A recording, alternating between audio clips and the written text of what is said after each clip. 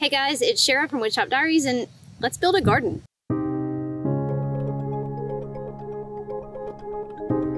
Last year we planted some grapes and berry bushes, but clearly they could use an upgrade. So this spring I dug, pun intended, into a fenced garden build. I shared how I built the simple arbors for the entrance to this garden in my last video, so if you haven't seen it, head over and check it out. But for this video, I'm going to pick up where that left off and build the rest of the fencing. This is a pretty big project, so I'll try to cover everything, but I've also provided the printable building plans in the video description below with more details. First, I placed these arbors between my three grapevines. Since I was attaching fence framing to everything, I didn't anchor these in place, but I did use a little paver sand to help level them. There's always potential for cedar posts to rot over time if they're in direct contact with the ground, but this area drains pretty well and I'm hoping that the paver sand will help too but I can always repair or replace later if needed. I'm not overly concerned. To keep things straight, I used a couple of stakes in the ground and pulled a string between them to help line up the arbors. I cut a piece of 2x4 to 5 foot long and used it to space these arbors 5 foot apart. Then I pulled the posts so that they were just touching the string. I drilled pocket holes into the ends of this 2x4 and secured it between the arbors at the bottom using exterior pocket hole screws. Then I did the same with another 2x4 about halfway up the posts. On the arbors, I ran the bottom 2x4s vertically and the middle 2x4s horizontally, so I did the same for the fencing so that it matched. Once the middle section of fence framing was secured between the arbors, I set the front two corner posts. I measured 5 foot from the arbors on each side and used a post hole digger to dig holes in line with my string. Again, I wanted to make sure that everything stayed straight across the front, so the string was vital. I dug these 24 inches deep, and I hate digging post holes. I'm very slow at it, so I didn't waste room on my SD card to film the whole process, but you get the idea. I cut my 4x4 posts to 7 foot long so that they would go into the ground about 2 feet and stick out 5 feet.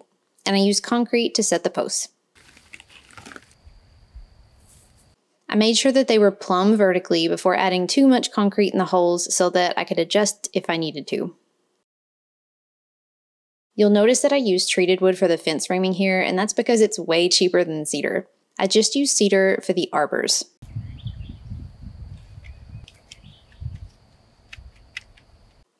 Now, although I measured these roughly 5 foot from the arbors, there's no way to get these posts set perfectly at that distance, at least not for me. So once they were set, I cut to fit 2x4s between them and the arbors.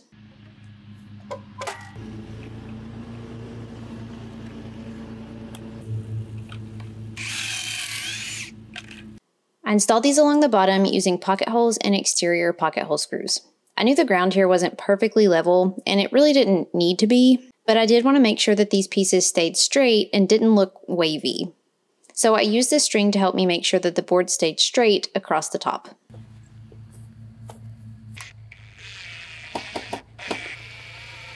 Then I cut to fit and installed the top 2x4s so that they were all at the same height as the one in the middle. Again, these may not be level, but I tried to keep them straight. This front section of the project was actually part of a sponsored campaign that I was doing on Instagram, so I'm doing things a little out of order here since I had to completely finish the front section before moving on to the sides and back. So I cut 2x2s to line these open spaces between the 4x4s and the 2x4s. Just like with the arbor, I installed these so that I could staple the wire fencing to it later. You could do without them, but they do kind of add an extra detail. Once the 2x2s were on, I cut to fit welded wire fencing panels over these sections using wire cutters. Then I stapled these onto the backside of the 2x2s.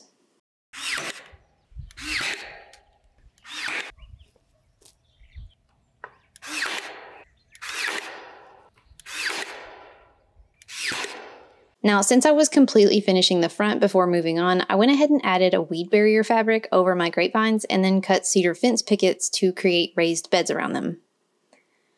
But I don't really recommend adding the raised beds until after all the fencing is up, so this part is kind of out of order, but I did have a good reason. After this front section was complete and my sponsored stuff was turned in, Danny tilled up the rest of the area so that the grass would be gone, at least for now. The rest of the fence framing is pretty much the same as the front.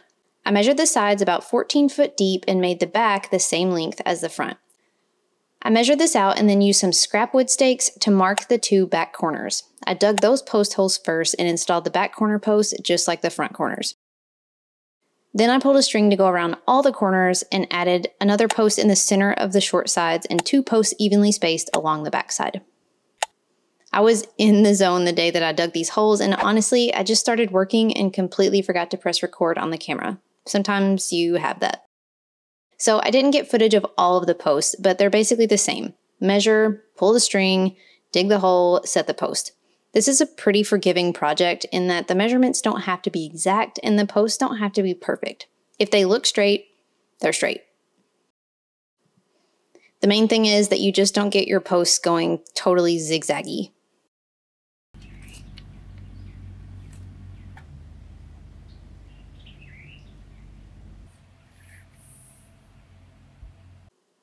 Once the six posts around the sides were set, I repeated the same process as on the front to add the framing. I cut to fit the 2x4s at the bottom and then another at the top. I secured the 2x4s to the 4x4 posts again, trying to keep them straight but not necessarily level.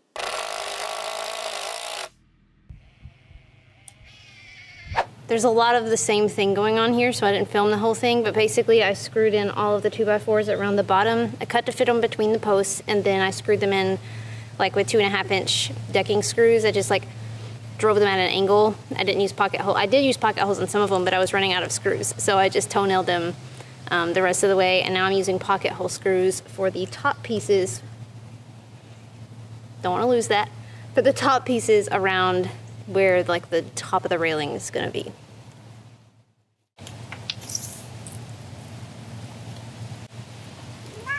Hey.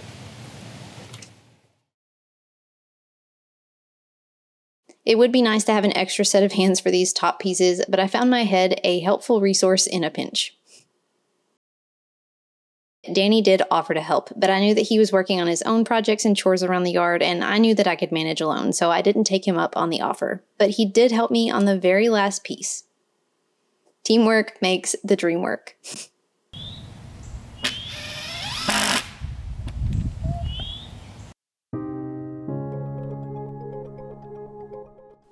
Once all the 2x4s were up, I lined the sides and the top of each open section again with 2x2s cut to fit. I just cut each of these pieces and secured using 2.5 inch decking screws. And then at some point I got distracted and glued on the fence caps, and then I came back to finishing the 2x2s. Sometimes it's just good to switch gears.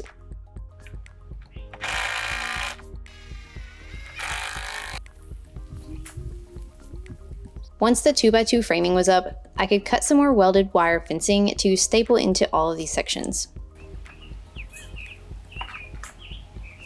Since they weren't all perfectly square, since the ground was kind of sloping, I cut these a little big, stapled them on, then trimmed a little as needed.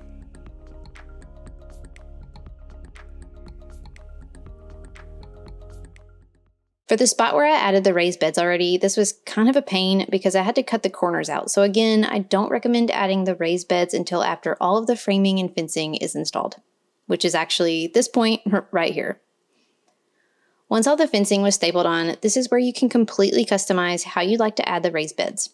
We had already planted much of what we were growing, so these really aren't raised beds so much as just a wooden edging to separate the mulch from the pavers that I'll be adding later.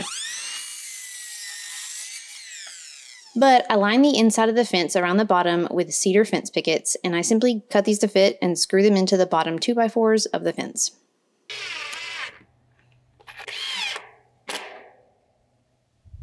I boxed in the grapes in their own sections already earlier, but I also assembled a U-shaped piece that ran down the sides and along the back of the fenced area. I used scrap 2x2s to connect the corners and just kind of sistered pieces of fence pickets to connect two pieces together. You could also use ground stakes to help keep these in place and assemble these boxes however you'd like.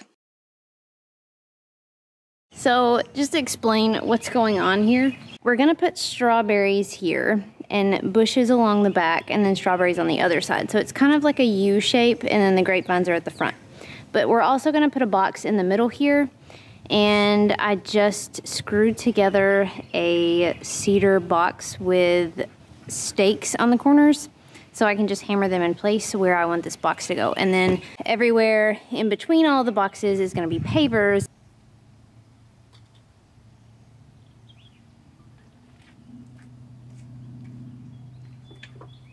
In hindsight, driving the stakes at the corners first, then attaching the pieces around the stakes to make this box might have been a better option because my boards kind of split open at one of the corners as I drove it in the ground. But it is what it is.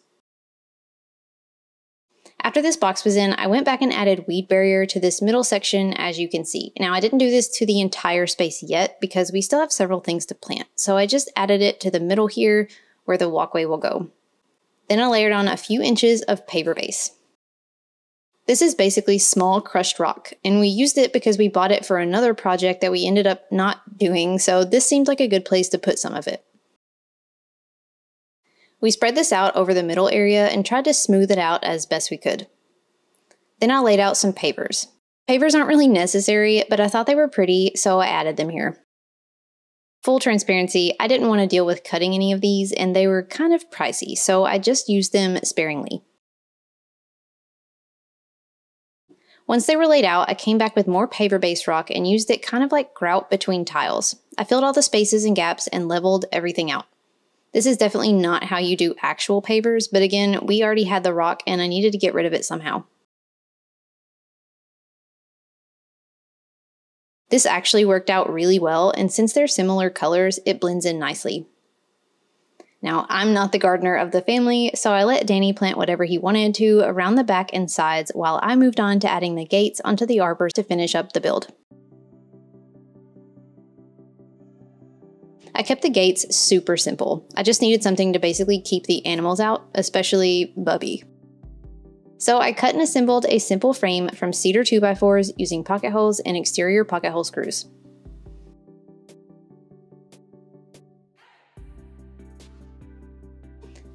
I made this gate frame one inch narrower than my arbor opening to give me about a half inch spacing on each side.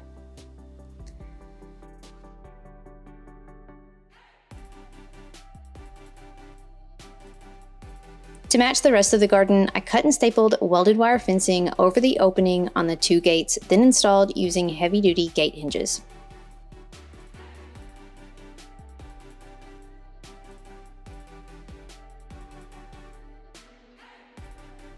I used my phone as a shim to keep the gate off the ground while I installed it. Super professional.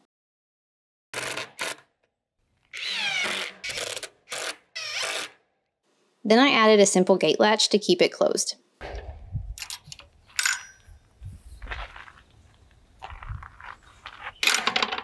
By this time, everything, at least for now, was planted in the garden and I filled the beds with mulch. And now we're ready to enjoy the literal fruits of our labor.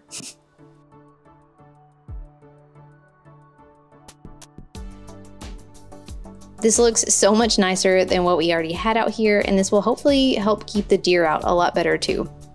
I'm really excited about how this garden turned out, and once the treated wood has had time to dry out a little, I'll go back before the winter and apply a stain and sealant to it to add a little more color and keep it looking nice until next season.